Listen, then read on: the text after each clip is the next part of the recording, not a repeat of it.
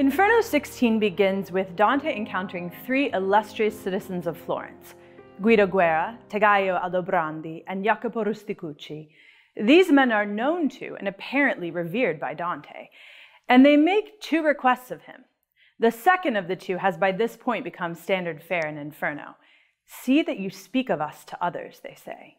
The first request is that Dante offer a State of the Union address on Florence. Tell us if valor and courtesy still live there in our city, as once they used to do, or have they utterly forsaken her?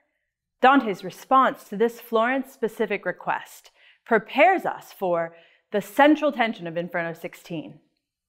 The new crowd, with their sudden profits, have begot in you, Florence, such excess and arrogance that you already weep. Then the poet offers this comment This, my face uplifted, I cried out. And the three, taking it for answer, looked at one another as men do when they face the truth. For our purposes, the actual historical facts underlying their request and Dante's response are less significant than the poet's commentary on the way in which he spoke and the unspoken way in which they responded. Dante, addressing Florence directly and not the three Florentine interlocutors, cries out a threnody for the lost valor and courtesy of his beloved city, which has been overrun by the vulgar excess and arrogance of the nouveau riche. And the three Florentines respond, we are told, as men do when they face the truth. Through the unspoken response of the Florentines, Dante the Pilgrim is here established by Dante the poet as a speaker of truth. They go on to encourage him always to speak with such clarity and conviction, suggesting to him that doing so will make him felice, happy. The pilgrim gets his chance to do just that when mere lines later he and Virgil reach the extreme boundary of the seventh circle, that in which the violent have been punished, and are confronted with the massive cascade of the river Phlegethon and its roar of many waters. They have no way to descend to the circle below, which contains many pouches or malebolge, in which various forms of fraud are punished. It is then that Virgil conceives of a plan. He requires of Dante the cord he wears around his waist. Virgil makes this cord into a lasso, twirls it around his head, swings it, and flings it some distance from the edge down into the depth of the abyss. And the pilgrim is left to wonder what, of all possible things in heaven, on earth, in the underworld, or in the imagination of poets he might catch and draw up. It's a wonderful moment of poetic suspense. After the pilgrim thinks to himself, I wonder what new and strange thing will answer, the poet reports Virgil's response to the thoughts he has either read or intuited in the mind of his wayward charge. Virgil says, Soon what I expect and your mind only dreams of will appear. Soon it shall be right before your eyes. Now, that is a curious claim on the part of Dante the Pilgrim's leader and true guide. The crux lies in the only of what your mind only dreams of. The Italian is somewhat simpler. Tosto verrà ciò che il tuo pensier sogna. At once will come that of which your thought dreams.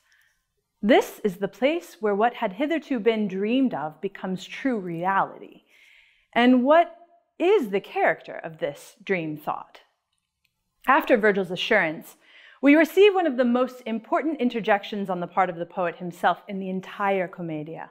We might say doubly important because it is a poetic interjection involving a direct address to the reader. Dante will now reveal to us what his pilgrim self saw with his own bodily eyes rising up from the abyss. Prolonging the aforementioned poetic suspense, he prefaces the revelation by making a comment about the truth. To a truth that bears the face of falsehood, a man should seal his lips if he is able, for it might shame him, though through no fault of his own. But here I can't be silent. A truth that bears the face of falsehood what can that mean? I take it to mean that when something is true but seems impossible, it's better not to be the reporter of such a fantastic truth, because telling such a truth will bring shame even through no fault of the speaker. Why would telling a fantastic truth bring shame? Didn't the three Florentines just praise Dante for his truthfulness and tell him that the more he could speak courageously the truth, even if it is unpopular, the more felice he will be? Now the poet is at least flirting with the idea that a man with an unbelievable truth to tell should simply keep it to himself. But it's all a tease, because he goes on to tell us that he can't be silent. He will describe what Virgil lassoed and brought up from the abyss but isn't simply going to describe it. First, he is going to do perhaps the most audacious and confusing thing he's done so far this canticle. And by the strains of this comedy, so may they soon succeed in finding favor, I swear to you, reader, that I saw come swimming up through that dense and murky air a shape to cause amazement in the stoutest heart, a shape most like a man's who, having plunged to loose the anchor caught fast in a reef or something other hidden in the sea, now rises up, reaching upward and drawing in his feet. Dante has just sworn on his own poem that he saw what in the next canto is revealed to have been Geryon, an Ovidian mythical creature remade by Dante and described as the filthy effigy of fraud. With a face like a man, a just man, the body of a serpent, and the paws of a lion, a fierce, strong, stealthy, insidious, hypocritical liar.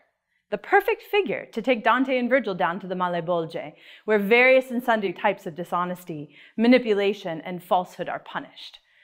But is Dante merely observing this fraud, or does Geryon affect Dante in some way? Dante has been praised for being a teller of truth, he has been exhorted to speak the truth so as to be felice. Now the poet stakes the entire commedia on the fact that this pilgrim's bodily eyes saw something that we know full well Dante stole from another fantastical poet's mythological writings. In brief, Dante the poet perjures himself. What are we to make of that? Remember back in Inferno 9 when Virgil and Dante entered into Dis and were blown sideways by the horrifying, unbearable foul stench that belched from that bottomless abyss? Dante's olfactory sense is so offended to such a degree that Virgil proposes a little break. We must delay descending so our sense, inured to that vile stench, no longer heeds it. This is very sensible advice. It is also supremely disturbing. Virgil is essentially conceding that he and Dante can only go through hell if they become acclimated to hell. They have to get used to it. Inured is our translator's word for this. To become inured is to become numb, unfeeling, and habituated to hell. Think about the risk involved in such an enterprise. Aristotle says in his rhetoric that habit forms something like a second nature within the soul. Dante the Pilgrim is forming, through habituation, an infernal nature. He presents himself in Inferno 16 as a truth teller. In line 63, he acknowledges to the three Florentines that he knows he and Virgil are going down to the very core, that is, the pit of hell. Fast forward to Inferno 33, lines 115 to 117. Here, Dante the Pilgrim encounters a sinner frozen up to the neck in the ice near the very core of which Dante the Pilgrim had spoken in Inferno 16. The penultimate ring of the ninth circle, called Ptolemaea, where extraordinary fraud against guests is punished. Dante makes a deal with this sinner. I will remove the ice that cakes your eyes and freezes them shut if you will tell me your name. Then, if I don't relieve it, he says, May I have to travel to the bottom of the ice? The sinner reveals himself as Fra Alberigo, but Dante does not uphold his end of the bargain. The attentive reader who remembers what was said to the three Florentines in Inferno 1663 is left at this point with three interpretive possibilities. One, Dante has forgotten the telos of his journey through hell. Two, Dante, heaven's scourge and minister, is being fraudulent with the fraudulent, so as to honor the righteous God who condemned this soul to hell. Or three, Dante has become as infernal a devil as the soul he ghosts here. I take the third as the only really compelling interpretation. Dante has become inured to the stench. He has become frozen and habituated to hell. He has become the figure of fraud. Geryon, whom Virgil summoned from the abyss in Inferno 16, the seemingly just man with a serpent's stinging tail. He can't help but perjure himself. This is, after all, hell. What does this mean for us, the readers of such a poem by such a poet?